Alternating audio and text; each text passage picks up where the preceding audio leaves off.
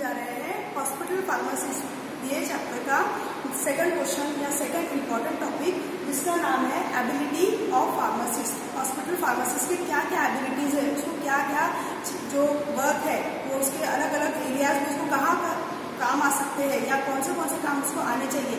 He is able to मतलब क्या क्या उसको करते आना चाहिए, ये टॉपिक हम लोग आज देखने वाले हैं। उसके पहले हम लोग एक शॉर्ट रिव्यू ले लेते हैं कि पिछले लेक्चर में हमने क्या डिस्कस किया था। पिछले लेक्चर में हम लोगों ने डिस्कस किया था हॉस्पिटल फार्मेसी की डेफिनेशन और हमने देखे थे उसके ऑब्जेक्टिव्स और हमने देखा था फ़ंक्शन डेफिनेशन को एक बार आपको मैं रिपीट करके बता रही हूँ. Hospital pharmacy is a service department ये क्या है? एक सर्विस डिपार्टमेंट है जो क्या करती है? रिसीव करती है सप्लाई करती है डिस्प्लेस करती है right drug right time at minimum possible cost to inpatient and outpatient under under under supervision of registered pharmacist ठीक है ये हम लोगों ने डेफिनेशन में देखा था। तो उसके साथ अब हम देखने जा रहे हैं हमारा आज का टॉपिक जो है ability of pharmacist ability of pharmacist के ऊपर सबसे पहले तो आपको बता दूँ कि क्वेश्चन आता कैसा है।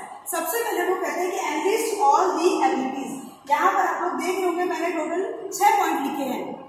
छह पॉइंट में मैंने लिखा है, सबसे पहला देखिए आप लोग, मैंने लिखा है टेक्निकल एबिलिटी फिर मैंने लिखा है एडमिनिस्ट्रेटिव एबिलिटी मैंने लिखा है मैन्युफैक्चरिंग एबिलिटी और फिर मैंने लिखा है रिसर्च एबिलिटी और टीचिंग एबिलिटी और फिर लिखा है लास्ट में एबिलिटी टू कंट्रोल इस तरीके से ये पूरे जो एबिलिटीज है, ये एक बार आप बोलेंगे कि एनलिस्ट करो और एक्सप्लेन करो कोई भी एक को. ऐसा तीन मार्क का या चार मार्क का क्वेश्चन बनता है लॉन्ग क्वेश्चन बनता है और उसके अकॉर्डिंगली आपको उसको सॉल्व करना पड़ेगा. ठीक है? तो सबसे पहले हम लोग देख लेते हैं पहली एबिलिटी और सबसे पहले देख लेते कि क्या उसको सबसे मेन रोल है जो उसको परफॉर्म करते आना चाहिए? टेक्निकल एबिलिटी में सबसे पहला है कि हॉस्पिटल फार्मासिस्ट हॉस्पिटल का जो फार्मासिस्ट रहता है, इसको बहुत ही अच्छा नॉलेज होना चाहिए। एड में लिखा हुआ है मैंने। एड का मतलब होता है absorption distribution metabolism and excretion जो भी ड्रग मेडिसिन उसके फार्मेसी में अवेलेबल है, उसके बारे में उसको पता होना चाहिए या उसका रेफरेंस उसको निकालते आना चाहिए कि how the drug will absorb कैसे एब्जॉर्ब होने वाली है, कैसे डिस्ट्रीब्यूट होने वाली है मेटाबॉलिज्म क्या है और उसका एक्सक्रीशन क्या है? ये सबसे पहला पॉइंट है। Similarly hospital pharmacist hospital pharmacist जो है, उसको बहुत ही थरो नॉलेज होना चाहिए, बहुत ही अच्छा नॉलेज होना चाहिए पी एन टी का। पी एन टी का मतलब होता है फार्माकोलॉजिकल एंड टॉक्सिकोलॉजिकल जो फार्मास फार्माकोलॉजिकल का मतलब है थेरापेटिक इफ़ेक्ट जो ड्रग है, वो कौन सा इफ़ेक्ट शो करने वाला है? टॉक्सिकोलॉजी का मतलब होता है कौन सी टॉक्सिसिटी या क्या साइड इफ़ेक्ट हो सकते हैं या क्या एडवर्स ड्रग रिएक्शन देखने को मिल सकती है, इसका भी नॉलेज उसको पता होना चाहिए। ना थर्ड इज़ पैथोफिजियोलॉजी उसको पैथोफिजियोलॉजी का भी बहुत अच्छा नॉलेज होना चाहिए। जब हम एस चैप्टर का सब्जेक्ट पढ़ने वाले हैं तो उसमें एक टॉपिक हमारा डिज़ीज़ का भी है। वेरियस डिज़ीज़ के पैथोफिजियोलॉजी उसके साइन क्या है, उसके सिम्टम्स क्या है, कौन से प्रिकॉशन लेने हैं, ये सब का उसको बहुत ही अच्छा नॉलेज होना चाहिए। Side by side patient care techniques भी उसको अच्छे से पता होनी चाहिए। क्योंकि वो एक हॉस्पिटल फार्मासिस्ट है, वो हॉस्पिटल में काम करने वाला है तो उसको बहुत ही थोड़ा नॉलेज होना चाहिए। किसका किसका? पीएनटी का पैथोफिजियोलॉजी का पेशेंट केयर टेक्निक्स उसको आनी चाहिए। ना थर्ड क्या है? मैन्युफैक्चरिंग और डोसेज फॉर्म कैसे डोसेज फॉर्म बनाए जाते हैं। फार्मासिस्ट जो रहता है, वो फ़र्स्ट ईयर और सेकेंड ईयर के सिलेबस में स्टूटिक्स में पीएच वन में पीएच टू में, कई सारे फॉर्मुलेशन को कैसे बनाना, कैसे उसको उसको क्रिएट किया फॉर्मुलेशन कैसे प्रिपेयर किया, ये सारी चीज़ें वो पढ़ता है। तो इसका नॉलेज उसको यहाँ पर अप्लाई करना है। जो भी उसने पढ़ाई की है, उसका नॉलेज उसको इधर अप्लाई करना है। तो मैन्युफैक्चरिंग और डोसेज फॉर्म पता होना चाहिए सोर्सेस पता होना चाहिए कि कहाँ से वो आपको प्रोक्योर करने को आसानी होगी। जो कि कम कॉस्ट में और आपके बेनिफिट कॉस्ट में आती है। Now the fourth one testing of raw material अगर किसी फार्मासिस्ट की वहाँ पर जॉब है अपॉइंटमेंट मैन्युफैक्चरिंग सेक्शन में या प्रोडक्शन डिपार्टमेंट में हो गई है तो रॉ मटेरियल को कैसे टेस्ट करेंगे हैंडलिंग कैसे करेंगे, ये सब चीज़ें उसको आनी चाहिए। टेस्टिंग ऑफ़ रॉ मटेरियल उसको करते आना चाहिए। जब टेस्टिंग कर रहे हैं तो डिफरेंट टाइप के इंस्ट्रूमेंट भी हैंडल करने पड़ते हैं। वो उसको अच्छे से आना चाहिए। जैसे कि H P L C H P T L C P H meter ये सब का हैंडलिंग उसको प्रॉपर तरीके से आना चाहिए। नाउ फिफ्थ नंबर पे है, उसको नॉलेज होना चाहिए about the storage and stability of drugs जब फार्मासिस्ट अगर वहाँ फार्मेसी में काम कर रहा है तो एक्सपायरी है सेल्फ लाइफ कितना है स्टोरेज किस से करना चाहिए। कोई ड्रग ऐसी लाइट रेजिस्टेंस रहती है लाइट के एक्सपोजर में नहीं आना चाहिए किसी को डार्क पे रखना पड़ता है। ये सारी चीज़ें उसको समझना है और ये चीज़ें उसको अपने काम करते समय अप्लाई करना है। नाउ नेक्स्ट सिक्स नंबर पे है ability to perform PNT experiments अगर किसी फार्मासिस्ट की जो ड्यूटी है, वो अगर क्लिनिकल ट्रायल्स में या क्लिनिकल फार्मासिस्ट के रूप में हो जाती है तो उसको पीएनटी के एक्सपेरिमेंट जो एनिमल्स के ऊपर ड्रग के एक्शंस करते हैं, उसको पढ़ना, उसको इंटरप्रिट करना, उसको कंक्लूड करना, ये सब जो है ability to perform PNT experiment का पार्ट है। ठीक है? तो अभी हमने देख लिया टेक्निकल एबिलिटी कौन सी कौन सी बातें हैं जो टेक्निकली ऑल ओवर दी हमने कलेक्ट करके छह पॉइंट का आंसर बनाया है। एग्ज़ाम में क्वेश्चन आ सकता है कि write the technical ability of hospital pharmacist आपको ये छह पॉइंट अच्छे से लिखने हैं।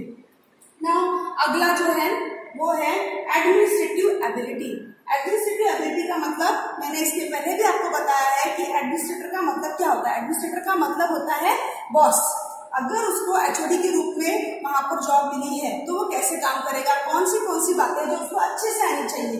तो hospital pharmacist should have the knowledge about organization जिस भी ऑर्गेनाइजेशन में उसको जॉब मिली है, उस ऑर्गेनाइजेशन का उसको अच्छे से नॉलेज होना चाहिए। ऑर्गेनाइज मतलब किस तरीके से वहाँ पर काम किया जाता है, कौन सी डिपार्टमेंट कहाँ प्लेस्ड है चैनल और डिस्ट्रीब्यूशन क्या है उस डिपार्टमेंट के। अगर कोई चीज़ वहाँ पर आ रही है, कोई आइटम्स आ रहे हैं, जैसे मेडिसिन ही आ रही है तो वो किस तरीके से स्टेप बाय स्टेप करते हुए फार्मेसी में आने वाली है, ये चैनल ऑफ़ डिस्ट्रीब्यूशन का पार्ट है जो उसको अच्छे से पता होना चाहिए। नाउ नेक्स्ट सेकंड है, वो जो फार्मासिस्ट है फार्मासिस्ट क्या हैं ऑफ़ प्लानिंग बजटिंग उसको प्लानिंग करते आना चाहिए। अगर वो फार्मासिस्ट शॉप में है या हॉस्पिटल फार्मेसी में ज्वाइन हुआ है तो उसको वहाँ की प्लानिंग करते आनी चाहिए बजटिंग करते आना चाहिए। प्लानिंग का मतलब क्या होगा कि अभी कौन सी मेडिसिन मेरे पास है और कौन सी डिमांड में रहने वाली है, उसको मंगवाना बजटिंग मतलब कि इतना इतना मेरा बजट है, मेरे को ये बजट में रह के काम करना है, और बजट नहीं करने का है। ये बताना है। इन्वेंट्री कंट्रोल इन्वेंट्री कंट्रोल का मतलब होता है कि आपने कितना आइटम्स मंगवाया है और उसमें से कितना बिक गया है। ठीक है? आवक और जावक। इसको कहते हैं इन्वेंट्री कंट्रोल और उसके बाद में है कॉस्ट इफेक्टिवनेस पर ध्यान देना है रिकॉर्ड मेंटेन करके रखना है और ऑडिटिंग ये बहुत ज़्यादा ज़रूरी है। ऑडिटिंग का मतलब होता है, साल भर में किया गया फाइनेंशियल जो भी लेन देन उसको हम कहेंगे ऑडिटिंग ठीक है? तो ये हुआ एडमिनिस्ट्रेटिव एबिलिटी ऑफ़ फार्मासिस्ट जिसको आपको अच्छे से समझना है। Now the third one is manufacturing ability नाम से ही समझेंगे। मैन्युफैक्चरिंग का मतलब क्या होता है? मैन्युफैक्चरिंग मतलब प्रोडक्शन डिपार्टमेंट में अगर फार्मासिस्ट की ड्यूटी लग गई है या उसको काम वहाँ पर मिला है? तो उसको क्या क्या करते आना चाहिए? सबसे पहले अगर पेरेंटल डिपार्टमेंट में उसकी लगी है जॉब तो able to he should he और she able to work in manufacturing of SPP and LBP उसको अच्छे से नॉलेज होना चाहिए कि एसपीपी और एलबीपी किस तरीके से प्रोड्यूस किए जाते हैं, किस तरीके से फॉर्मुलेट किए जाते हैं। उसमें फॉर्मुलेशन ज़रूरी नहीं है पेरेंटल में ही डिपार्टमेंट में ही लगने वाली है जॉब नॉन पेरेंटल्स का भी formulation and preparation of various dosage form का भी उसको बहुत अच्छा नॉलेज होना चाहिए। सिमिलरली थर्ड है नॉलेज ऑफ़ रॉ मटेरियल जो हमने यहाँ पर भी पढ़ लिए थे कॉस्ट और सोर्स और इंस्टॉलेशन ऑफ़ इक्विपमेंट ये एक अलग सा पॉइंट है जिसको मैं बता रही हूँ। अगर प्रोडक्शन डिपार्टमेंट में वो वहाँ पर अवेलेबल है तो उसको पता रहना चाहिए पर्टिकुलर मशीन को कैसे ऑपरेट किया जाता है ये फ़र्स्ट ईयर में पी एच वन में ये सिलेबस में है। इसीलिए उसको पता होना चाहिए इंस्टॉलेशन ऑफ़ इक्विपमेंट कैसा होता है, ये सारी चीज़ें जो है मैन्युफैक्चरिंग एबिलिटी में आता है। तीनों पॉइंट आपको समझ में आ गए पहला लिखा है कि एसपीपी और एमपीपी का मैन्युफैक्चरिंग आना चाहिए। दूसरा लिखा है कि अदर देन पेरेंटल जो दूसरे डोसेज फॉर्म है, उसका फॉर्मुलेशन एंड प्रिपरेशन भी करते आना चाहिए। और उसके बाद में है नॉलेज ऑफ़ रॉ मटेरियल उसका सोर्स क्या है, उसका कॉस्ट क्या है, और इंस्टॉलेशन ऑफ़ इक्विपमेंट ये सब चीज़ें उसको बेटर तरीके से करते आना चाहिए। हर एक चीज़ के लिए किसी अटेंडेंट या किसी हेल्प की ज़रूरत नहीं होनी चाहिए। उसको पूरी चीज़ का या पूरे हर एक वर्क का नॉलेज होना चाहिए। ये उसकी एबिलिटी का पार्ट है। नाउ दी रिसर्च एबिलिटी बहुत बड़ा हॉस्पिटल है। वहाँ पे फार्मासिस्ट अगर काम कर रहा है तो वहाँ पर कई सारे रिसर्च प्रोजेक्ट चलते रहते हैं। ऐसे रिसर्च प्रोजेक्ट में उसको पार्टिसिपेशन करना है असिस्ट करना है मेडिकल स्टाफ को।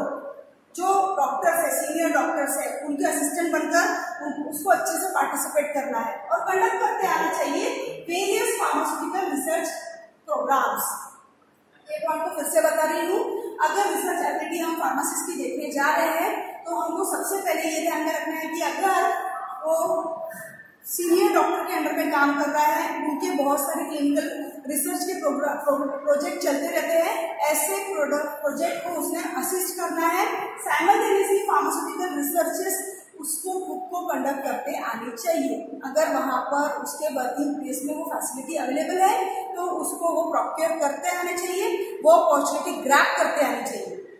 सेकेंड है able to establish establish data database तैयार करते आना चाहिए। जितनी भी वो रिसर्च वगैरह कर रहा है तो ये जो रिसर्च है, इसको डाटा में कन्वर्ट करते आना चाहिए। कन्वर्ट करने के साथ साथ उसको पेशेंट का पार्टिसिपेशन भी वहाँ पर हेल्पफुल रहेगा। अब थर्ड है able to collect appropriate data अब जो डाटा उसने एस्टैब्लिश कर लिया रिसर्च में पार्टिसिपेट कर लिया डाटा एस्टैब्लिश कर लिया अब वो वो कह रहा है कि डाटा आ गया तो ये डाटा जो है, इसको अप्रोप्रिएट तरीके से इंटरप्रिट करना, इसको इंटरप्रिट करना और साथ ही इससे एक डेफिनेट कंक्लूजन तक पहुँचना, ये भी फार्मासिस्ट का काम है, जो रिसर्च एबिलिटी के अंदर आता है।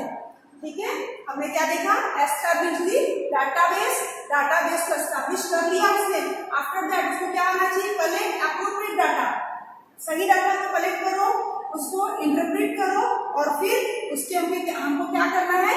कंक्लूजन तक पहुँचना है। ये हो गया रिसर्च एबिलिटी का part now the fifth one is teaching ability teaching ability में देख लेंगे और इसको हम दूसरे शब्दों में एकेडमिक एबिलिटी भी कहते हैं। सबसे पहला पॉइंट है pharmacist able to train junior अब सिखाना है। टीचर क्या करता है? सिखाता है। टीचिंग एबिलिटी में हम क्या करेंगे?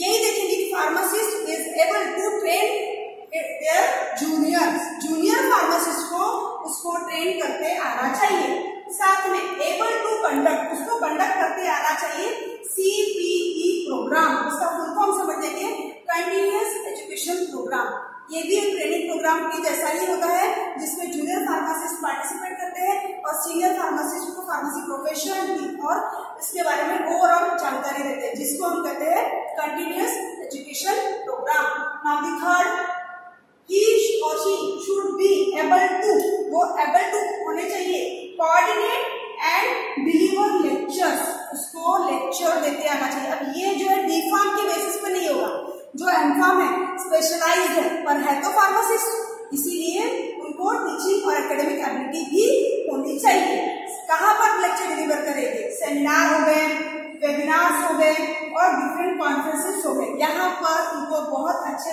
तरीके से लेक्चर्स डिलीवर करते आना चाहिए ये पार्ट हो गया हमारा टीचिंग एबिलिटी का।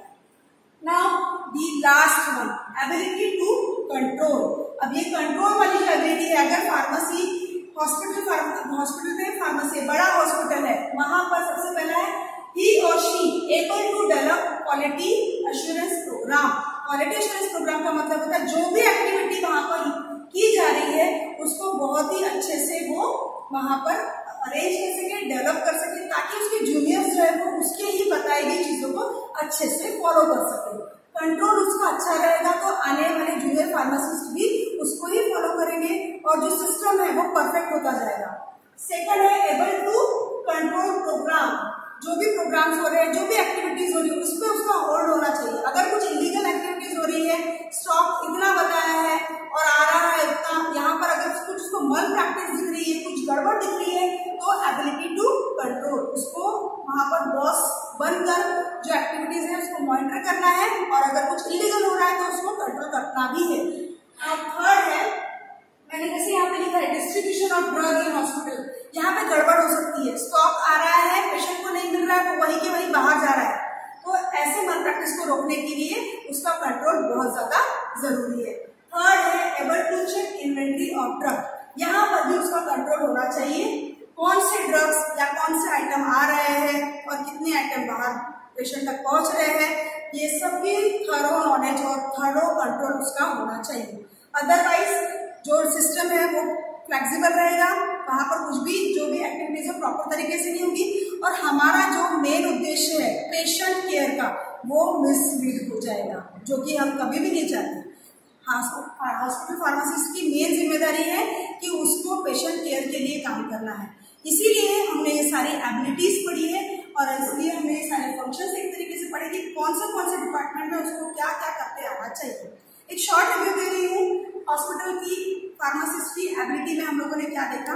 हमने देखा teaching sorry technical ability first देखा हमने एडमिनिस्ट्रेटिव एबिलिटी और फिर हमने देखा मैन्युफैक्चरिंग एबिलिटी और फिर देखा रिसर्च एबिलिटी और फिर देखा teaching academic ability and next last में हमने एबिलिटी टू कंट्रोल मैं आपको फिर से बता दे रही हूँ क्वेश्चन किस तरीके से आएगा?